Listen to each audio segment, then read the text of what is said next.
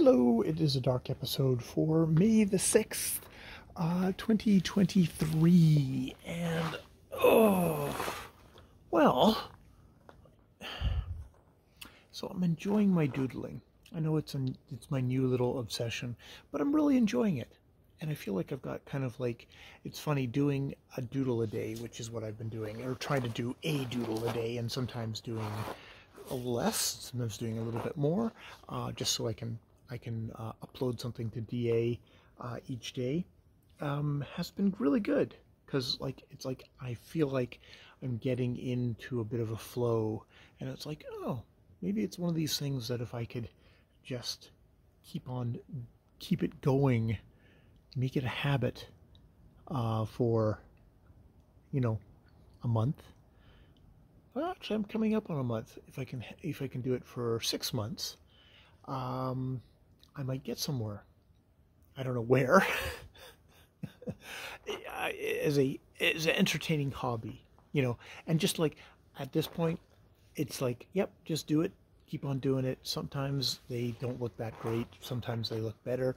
Uh, a lot of times the pers- the perspective or the anatomy that I'm kind of going for isn't particularly there. But you know what? It's going, and I'm doing it more and more and more and you know it's not super complex stuff. It's very much line drawings. I'm not trying to do shading at this point. Um, i'm doing what i'm doing.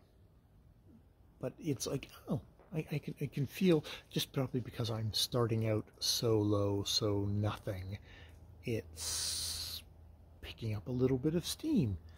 Uh, you know if you're going at a crawl if you can get up to a waddle it's amazing um, so, you know, I'm sure I will hit a point where I'm not, it, there's no discernible advancement whatsoever. But at the moment, I'm so, so at the beginning uh, of this that, oh, I feel like I'm, I, relatively speaking, I feel like I'm zooming forward. I will be Picasso by the end of the week. Maybe not. I, I, I don't think I would be uh, R. Crumb if I did this till the end of time, to be honest. So yeah, yeah, that's where I am with that, which is good. I'm um, writing each day. I've got something I want to write each day. I'm outlining Duffel Duffel Puff. I did a kind of a half-hearted review of um, Harlan Ellison's "I Have No Mouth," um, so I but I Must Scream or something like that, whatever the name of the title of the short stories was. It's half hearted because I didn't go back and sort of get the various plots involved. I just gave a kind of a general impression, which is Harlan Ellison was a bitter, angry dude who had real issues with women, uh, and that kind of poisoned his work uh, in a long in a lot of ways. I mean, I think my only proviso in that might be was Harlan Ellison, was this collection a horror collection? And there is a thing of horror stories that you're digging in to the the black, the the unpleasant, the the stuff that you want that so a different writer might want to bury. And it's like, no, I'm excavating that. I'm magnifying that. I'm dramatizing that.